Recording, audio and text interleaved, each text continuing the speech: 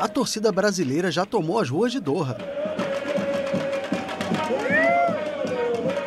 Nesta sexta-feira, o Brasil decide uma vaga nas semifinais da Copa do Mundo do Catar diante da Croácia, no estádio Cidade da Educação. A seleção brasileira tenta retornar às semifinais da competição depois de oito anos. A última vez que o Brasil esteve entre os quatro melhores de um Mundial foi em 2014, quando perdeu de 7 a 1 para a Alemanha. Em 2018, os brasileiros caíram nas quartas diante da Bélgica.